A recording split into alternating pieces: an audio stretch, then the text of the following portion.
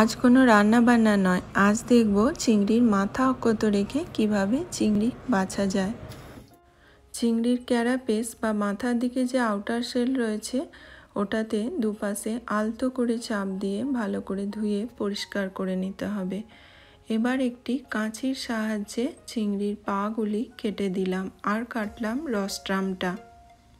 রস্ট্রামটা খুবই ধারালো করাতের মতো, ওটা অবশ্যই কেটে ফেলবেন। এবার চিংড়িটা এক হাত দিয়ে ধরে অন্য হাত দিয়ে আলতো করে বডির যে আউটার সেলটা আছে ওটা আর তার সাথে সুইমারেটসগুলো ছাড়িয়ে ফেলব। এবার পিঠের দিকে ঠিক মাঝামাঝি ছুরির সাহায্যে হালকা করে চিড়ে নেব। দেখবেন একটা ঘন সবুজ বা হলুদ বা কালো মতো একটি নালি দেখতে পাবেন। ওটাকে আঙুল দিয়ে হালকা করে টানলেই বেরিয়ে আসবে ওটা চিংড়ির ইন্টেস্টাইন এবার জল দিয়ে ভালোভাবে ধুয়ে নিন আর রেখে দিন একটি প্লেটে।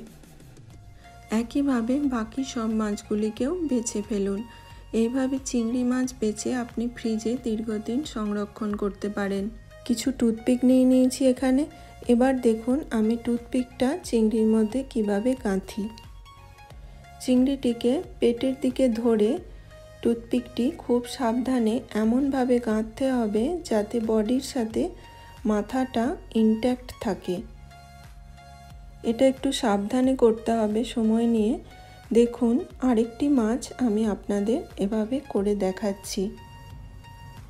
এই সবগুলি চিংড়ি বাছার পর টুথপিক দিয়ে গাঁথতে আমার মোট সময় লেগেছে তিরিশ মিনিট মতো। এইভাবে বেছে ধুয়ে রাখলে পরের দিন রান্না করতে বা আপনি যদি আরও পরে রান্না করেন তাহলে ডিপ ফ্রিজে রেখে দিন, খুবই সুবিধা হবে। দেখুন, সব চিংড়িগুলো বাছা হয়ে গেছে আমার। তবে এইভাবে চিংড়ির মধ্যে টুথপিক গাঁথলে একটাই অসুবিধে, খাওয়ার সময় আপনি যখন সার্ভ করবেন তখন অবশ্যই বলে দেবেন যে ওতে টুথপিক গাঁথা আছে।